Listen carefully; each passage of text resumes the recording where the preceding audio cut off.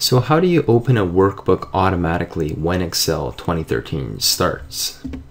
Here I have book one and I change the column width as well as the row heights. I like it big so I can see these cells very clearly. So what I did here is I saved this file to my desktop and then I drag it into, into this folder. Now the reason why I actually saved it first to my desktop is because I don't have the administrative privileges to save to this folder directly. This C program files, Microsoft Office, Office 15, XLSTART folder. So I'm gonna copy this and show you where the, these files are. So I'm gonna click up here and here I dragged it in from my desktop and I have book one and I have book two. I saved a separate file also blank with large cells.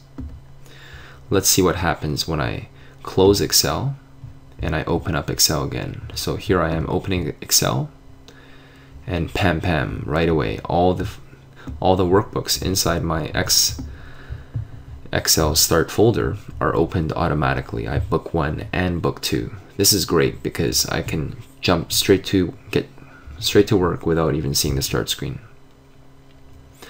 Now for security reasons you probably should leave this folder alone but if you really want to be able to save it directly file save as right into this folder let me show you the trick. So here's my Office 15 folder and here is my XLSTART folder.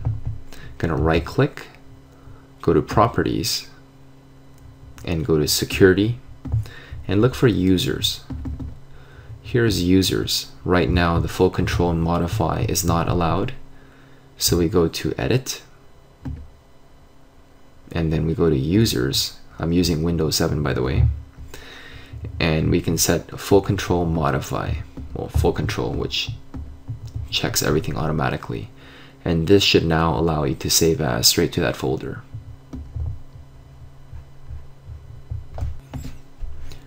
So remember that you can use the XLSTART folder in your Office installation to open a workbook automatically.